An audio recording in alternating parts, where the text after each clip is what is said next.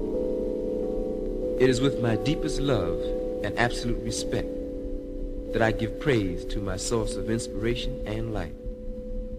To the Maulana I say, if what we create as disciples of Kawaida, the black ideology of change, brings half as much meaning to your life as the doctrine has brought to ours, then we will be in total harmony with the universal principle of peace. And to the Imamu, I give thanks in bearing witness to the brilliance of your perfected example of work. And I pray that the gift of positive circumstance allows all our beings to touch once again. As the music retained in this album is a humble offering to the unity of the entire black nation and all those who through Kawaida have tasted the nectar of its totality. What you're about to hear is not jazz or some other irrelevant term we allow others to use in defining our creation. But the sounds which are about to saturate your being and sensitize your soul is the continuing process of nationalist consciousness manifesting its message within the context of one of our strongest natural resources, black music. What is represented on these jams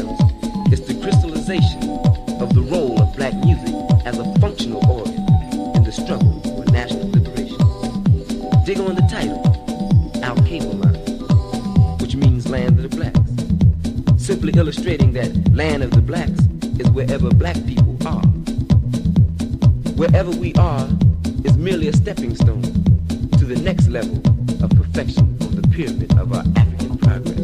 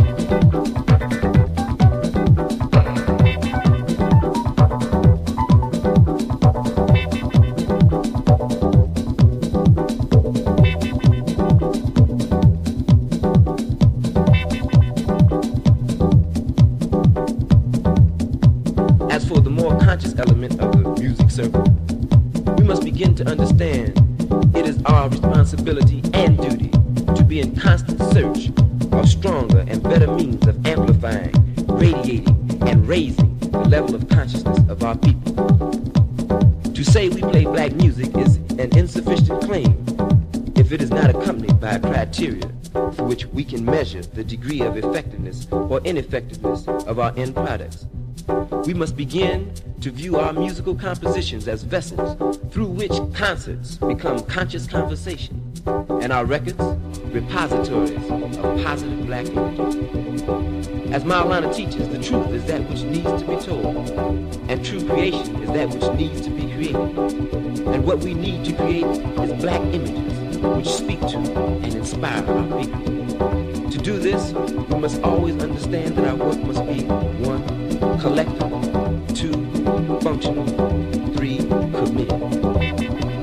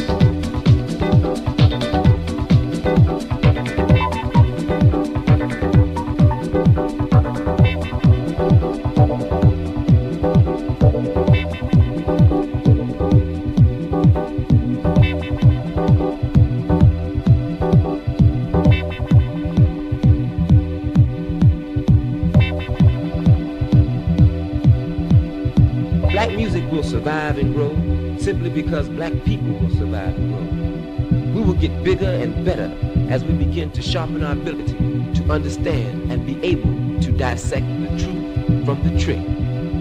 And once this process is intensified, identity, purpose, and direction will be the end results as we move to embrace our new value system, defining those things in our lives which affect our lives the way we choose to.